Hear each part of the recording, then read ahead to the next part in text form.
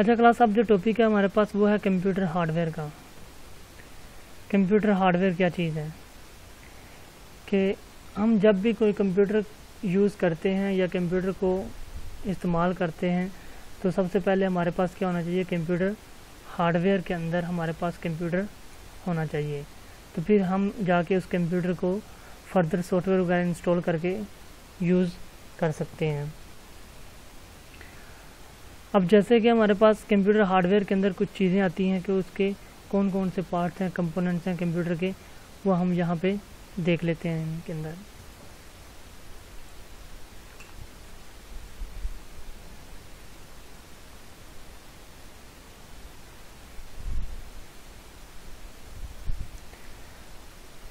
अब सबसे पहले हमारे पास है कंप्यूटर हार्डवेयर कंप्यूटर हार्डवेयर हमारे पास एक फिज़िकली कंपोनेंट है कंप्यूटर के। जितने भी पार्ट्स हैं जो कंप्यूटर के अंदर यूज़ किए जाते हैं, वो हमारे पास कंप्यूटर हार्डवेयर कहलाते हैं। अब उसके बाद हमारे पास आता है इसके हार्ड हार्डवेयर के अंदर, इसके कंपोनेंट्स के अंदर कौन कौन सी चीज़ें हैं। वो सबसे पहले आती है हमारे पास सिस्टम यूनिट। ओवरऑल एक जो सिस्टम यूनिट होता है, वो हमारे पास ये चीज़ है जो पिक्चर के अंदर दिखाई गई है। अब इस पिक्चर के अंदर हमारे पास कौन कौन सी चीज़ें हैं? सिस्टम फ़ैन है, फ्लॉपी डिस्क है, पावर सप्लाई है, मदरबोर्ड है, प्रोसेसर है, रैम, मॉड्यूल्स है, ऑप्टिकल ड्राइव है, हार्ड ड्राइव है और हीट सेंक है। ये सारी चीज़ें जब आपस में हम कंबाइन करते हैं, मिलाते हैं इनको तो वो हमारे पास एक सिस्टम यूनिट बन जाता है। System unit is a case that contains different electronic components of the computer used to process data अब ये हमारे पास एक सिस्टम यूनिट एक केस है।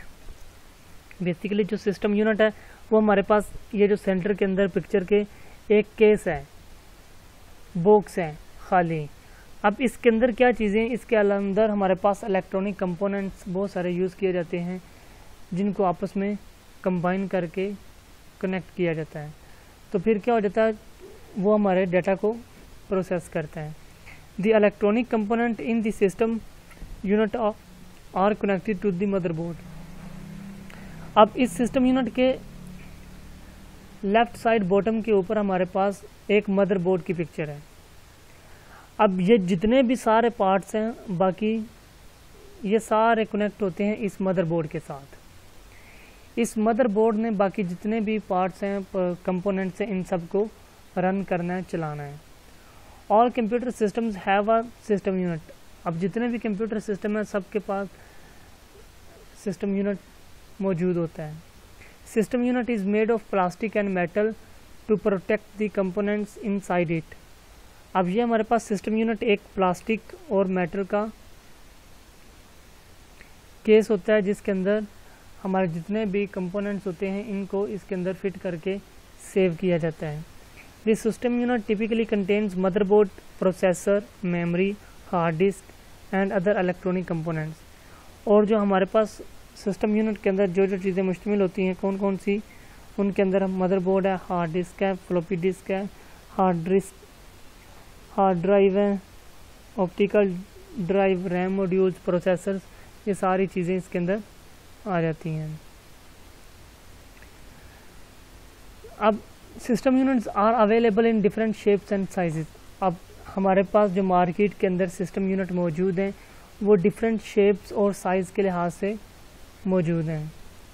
This system unit of desktop computer stand vertically on the desk called tower system अब जो हमारे पास सिस्टम यूनिट कुछ ऐसे होते हैं जिनको हम कहते हैं डेस्कटॉप सिस्टम और कुछ ऐसे होते हैं जिनको हम कहते हैं टावर सिस्टम ऐसे सिस्टम जो हमारे पास किसी मेज़ के ऊपर या किसी जगह पे ऊपर हम इसको रखते हैं तो वर्टिकली स्टैंड करते हैं।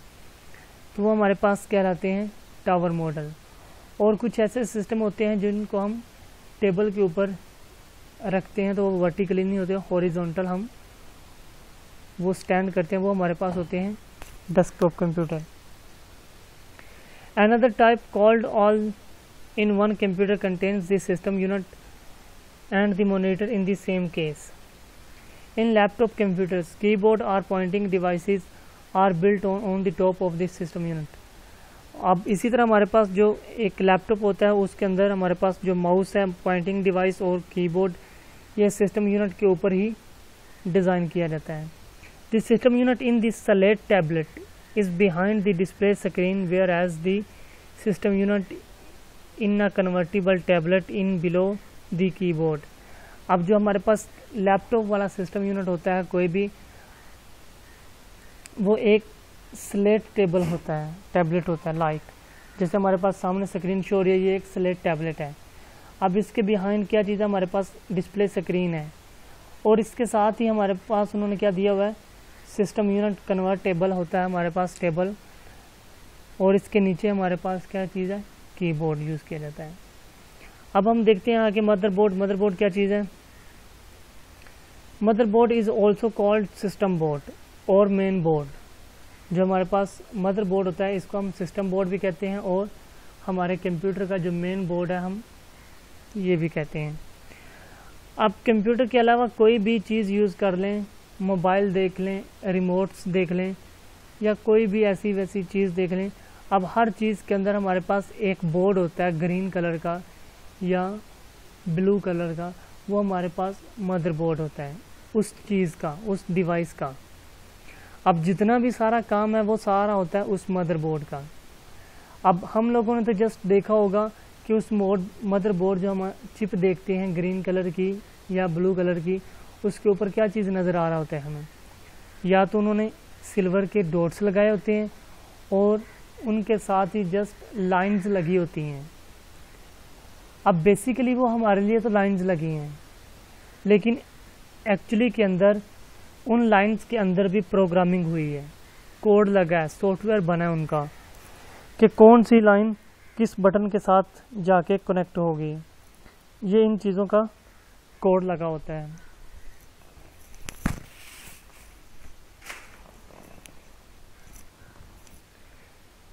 अब जो सबसे मुश्किल है हमारे पास इस टाइम के अंदर वो है हार्डवेयर की प्रोग्रामिंग करना।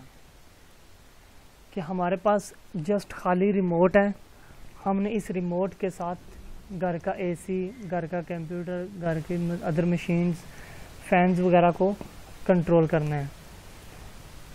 तो इसकी प्रोग्रामिंग हमारे लिए सबसे मुश्किल आती है हार्डवेयर की प्रोग्रामिंग करना।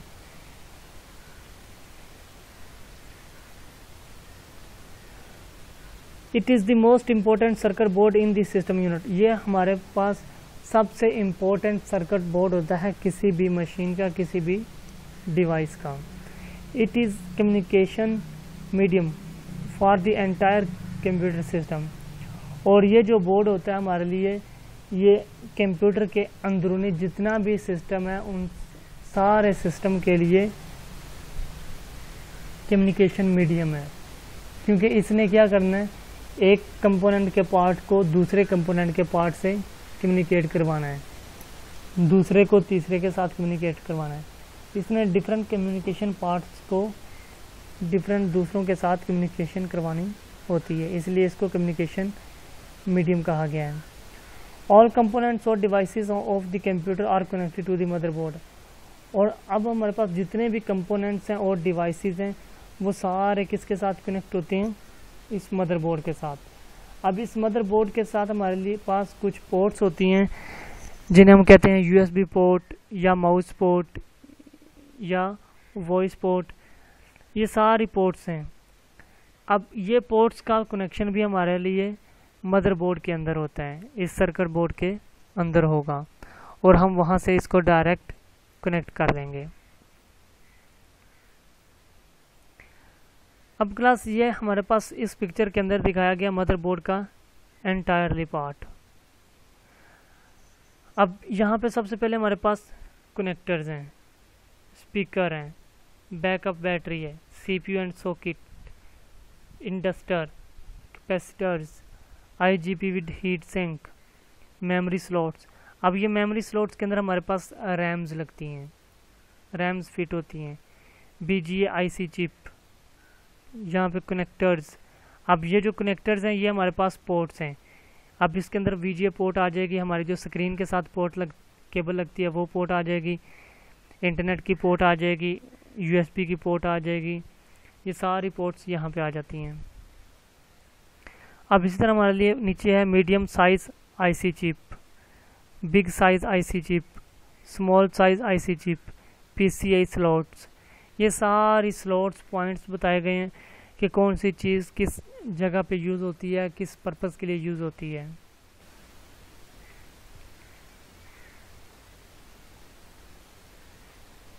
The mother board contains processor अब जो मदरबोर्ड होता है एक्चुअली के अंदर वो किस चीज़ पे मुश्तमिल होता है? प्रोसेसर्स के ऊपर मेमोरी के अंदर मेमोरी के ऊपर expansion slots ports connectors etc it may also include integrated peripherals such as video sound and network adapters it enables the user to attach different devices to it such as keyboard printers and scanners. अब उसके बाद आता है हमारे पास CPU central processing unit अब class कोई भी कंप्यूटर है या हमारे पास मोबाइल है, उसका एक सेंट्रल पार्ट होता है, जिसको हम कहते हैं सीपीयू अब इस, इसने क्या करना होता है? इसने हमारे पास जितनी भी कैलकुलेशंस होती हैं, कोई भी हम डाटा इनपुट करते हैं या आउटपुट हमें जनरेट होकर मिलती है, वो सारा काम है इस सीपीयू का, क्योंकि ये सेंट्रल पार्ट है प्रोसेसिंग यूनिट का, कि कोई भी काम है, ये उसका बेसिकली सेंट्रल पार्ट है। सेंट्रल प्रोसेसिंग यूनिट है।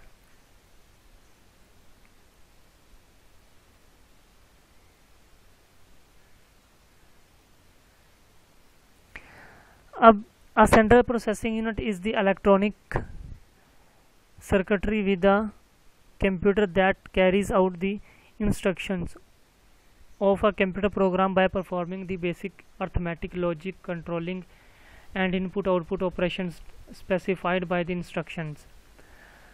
अब ये जो हमारे पास सेंट्रल प्रोसेसिंग यूनिट है, ये एक इलेक्ट्रॉनिक सर्किटरी बोर्ड है।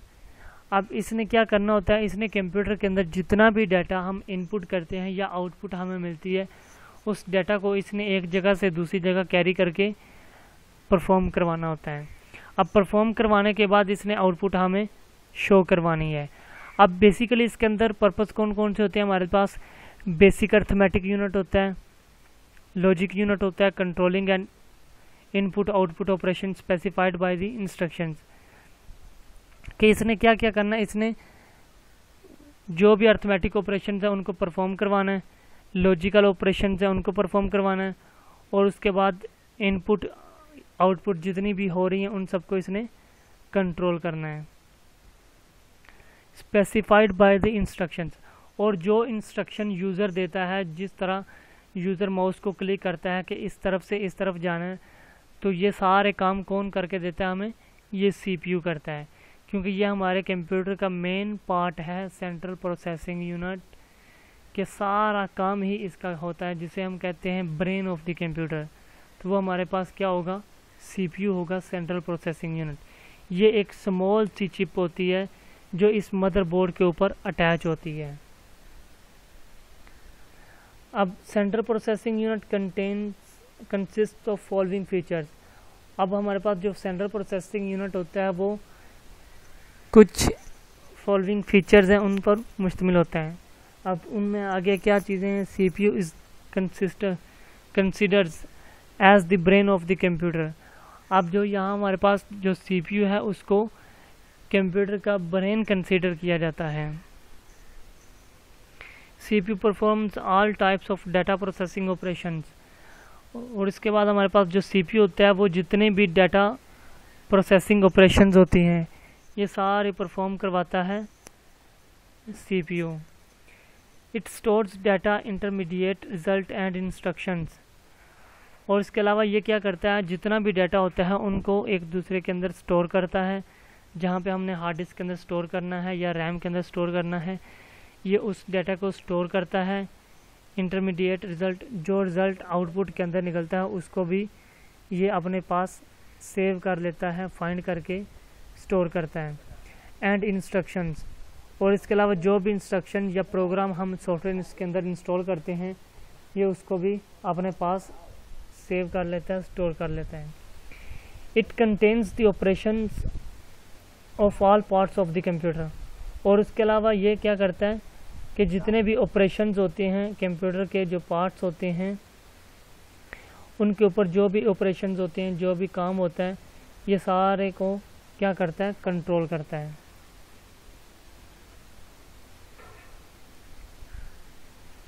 प्लस ये हमारे पास एक स्मॉल सी चिप नज़र आ रही है आप लोगों को पिक्चर के अंदर। अब ये एक छोटी सी चिप है हमारे पास प्रोसेसर सेंट्रल प्रोसेसिंग यूनिट अब इस चिप ने क्या करना है? इस चिप ने हज़ारों की तादाद के अंदर कैलकुलेशंस करनी है, काम करने हैं। मेमोरी और स्टोरेज यूनिट अब सीपीयू के अंदर कौन कौन से कंपोनेंट्स होते हैं?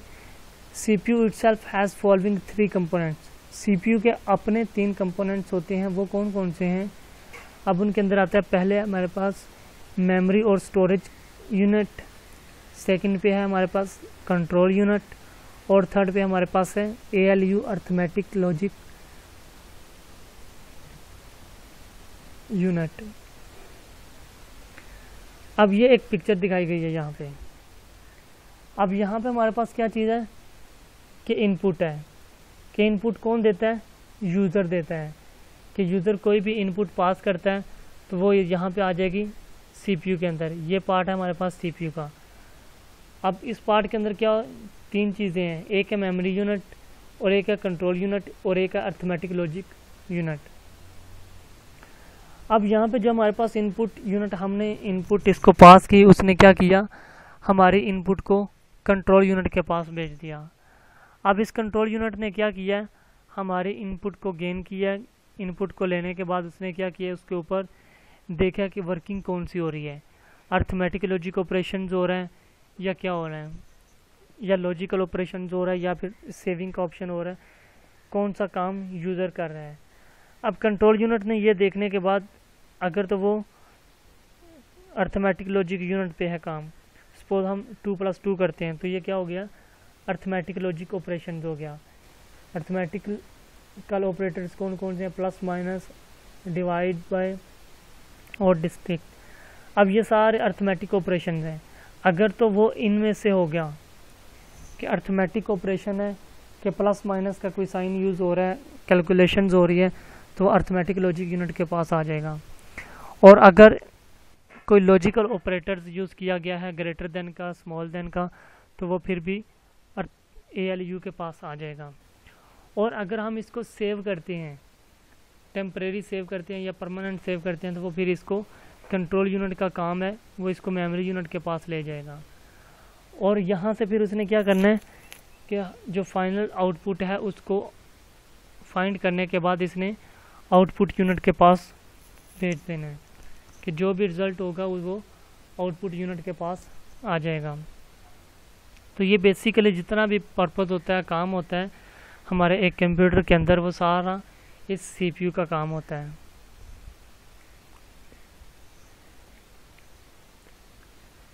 उसके बाद हमारे पास मेमोरी एंड स्टोरेज यूनिट के मेमोरी और स्टोरेज यूनिट क्या चीज़ है? This unit can store instructions data and intermediate results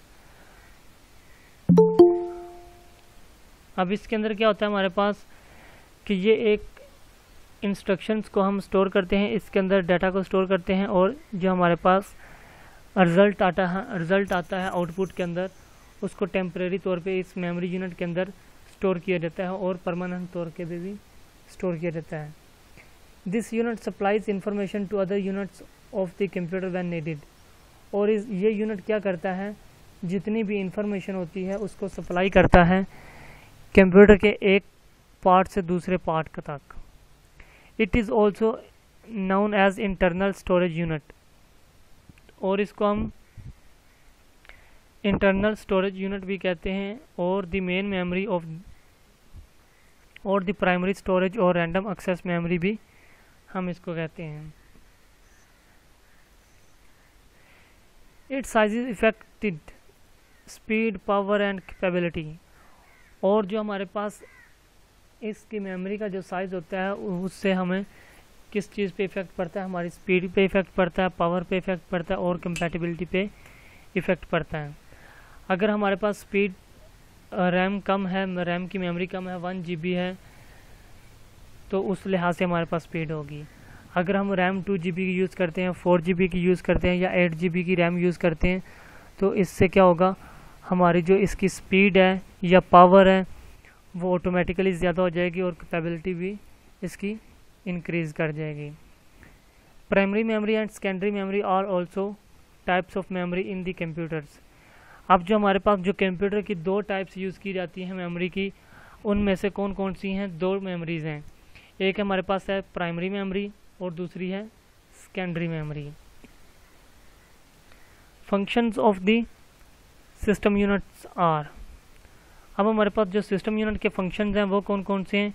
It stores all the data and instructions required for processing अब इसके अंदर क्या किया जाता है? जितनी भी इंस्ट्रक्शंस प्रोसेसिंग के लिए हम करते हैं, वो इसके अंदर स्टोर की जाती हैं। It it stores intermediate result of processing और इसके अलावा ये क्या स्टोर करता है? कि जो भी रिज़ल्ट आउटपुट के अंदर हमें फाइंड होता है, ये इसको अपने अंदर स्टोर कर लेता है। It stores the final result of the processing before these result are release on the output device और इसके बाद इसने क्या करना है, हमने कोई भी डाटा इनपुट किया है, इसने क्या किया, उस पर कैलकुलेशन करने के बाद आउटपुट जनरेट किया है, और उस आउटपुट को हमें शो करवाने से पहले इसने उसकी टेम्परेरी फाइल्स अपने अंदर सेव की हैं, अपने पास सेव कर ली हैं। All inputs and outputs are transmitted through the main memory अब जितनी भी इनपुट या आउटपुट हमें मिलती हैं या हम आउटपुट देते हैं इनपुट देते हैं तो वो सारी किसके थ्रू मिलती हैं? मेन मेमोरी के थ्रू मिलती हैं। अब मेन मेमोरी कौन सी हमारे पास? मेन मेमोरी हमारे पास रैम को हम मेन मेमोरी कहते हैं।